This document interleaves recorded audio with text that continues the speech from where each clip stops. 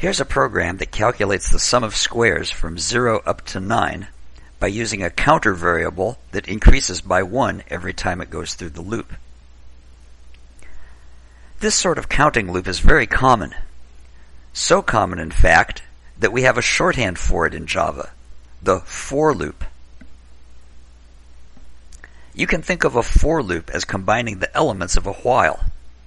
The initialization of the loop control variable, the loop condition, and the action that changes the loop variable.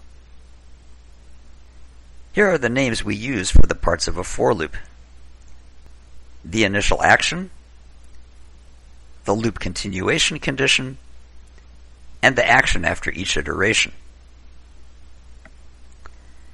For historical reasons, namely a language called Fortran, you will often see people using single letter variables like i, j, and k as counter variables rather than words like count. Here's the code in a program that lets the user select the limit for the count. And here's the for loop. This is the initialization. Count starts as 1. We continue as long as the count is less than or equal to n and after each trip through the loop, we increment the counter. And inside the loop, we square the count and add it to the sum of squares, replacing the old value. Let's run the program to see that it does what we want. If we want the sum of squares from 1 to 5, that's 55. The sum of squares up to and including 10 is 385.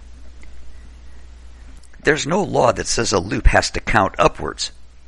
In this code, the counter variable i starts at 5, tests to see if it is greater than 0, and subtracts 1 as its action. There's also no law that says you have to count by 1. In this code, the counter variable starts at 0, continues as long as it's less than 10, and after each trip through the loop, adds 2 to the counter instead of 1.